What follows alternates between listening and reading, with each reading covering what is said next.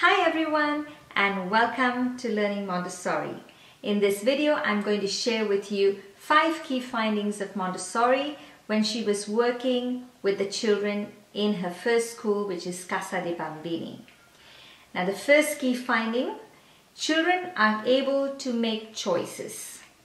One day at Casa dei Bambini, the teacher was late to class and the children very cleverly found their way into the classroom through a window. Then they found that the cupboard was not locked, where the teacher placed all the materials at the end of the day. So they opened the cupboard and they selected their materials and they started working on them. So when the teacher arrived with Montessori and you know they walked into the classroom, they were amazed to see the children had selected their own materials and they were working on it you know, with complete focus and attention. This was when Maria Montessori discovered that children were actually capable of making choices. And when you allowed them to make choices with what they wanted to work with, they actually worked with more enthusiasm.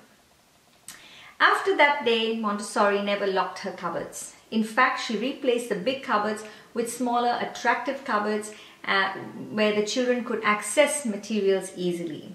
She also never locked them. In addition, she also allowed the children from that day to select the materials which they wanted to work with.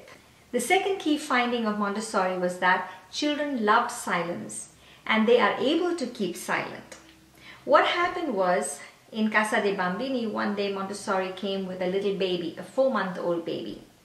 When she entered the classroom, the, the children all gathered around her. And Montessori pointed out the baby was, you know, asleep and was very silent. So Montessori pointed out how silent the baby was. And she jokingly asked the children if they could do the same. Surprisingly, the children all, you know, stayed silent. They became as quiet as the baby was. This was when Montessori realized that children actually could keep silent and they actually did it they did it because they wanted to, not because they were told to keep silent. So there was this inner desire to keep silent. With this discovery, Montessori then went on to create the silence game. Now the silence game is a very popular game played in Montessori schools even till today. So what she did was she sat the children around her in a circle. She would whisper each child's name asking the child to come to her from one end of the room. And they did that.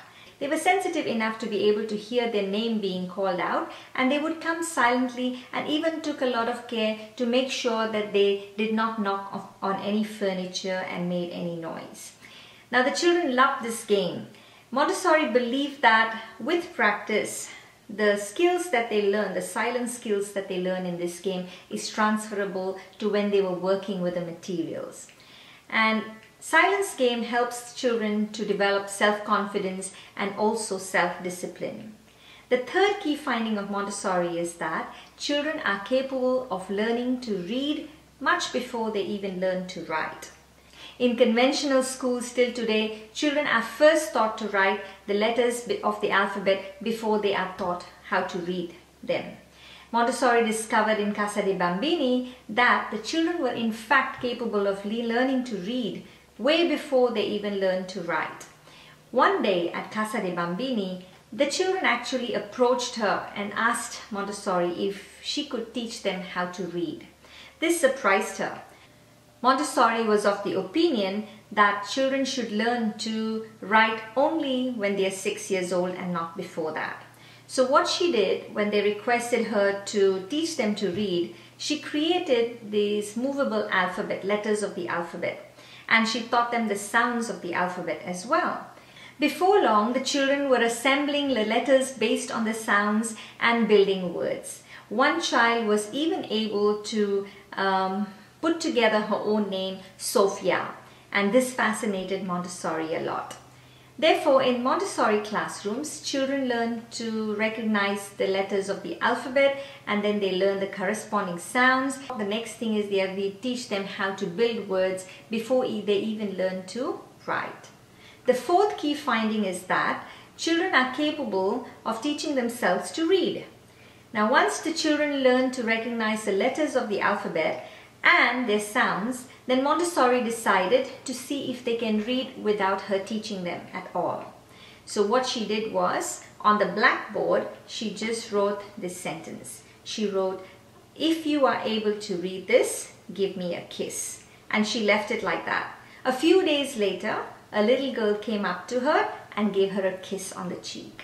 And you know, then she realized actually the children were able to learn, teach themselves how to read. The fifth key finding of Montessori was that children are capable of being independent and self-disciplined.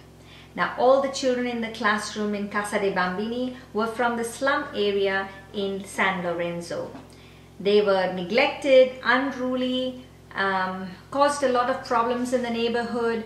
However, after being with her in Casa dei Bambini after a while, she noticed that there is a big change in these children.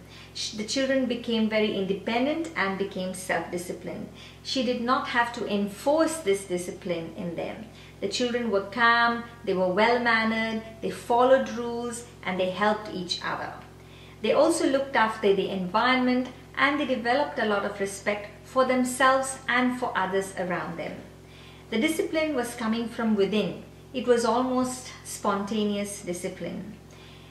They listened and behaved well because they wanted to, not because they were told to. They also developed this positive vibes, positive attitude, and they were joyful and happy they were capable of coming to the classroom, you know, selecting the materials, working with them, and then when they finished, they would place them back in the cupboards very nicely too. She called these children the new children. It was almost as if they were reborn to become nice. All these key findings of Montessori led her to creating her methodology. I hope you've enjoyed the stories of Montessori and have learned much from them. Bye for now.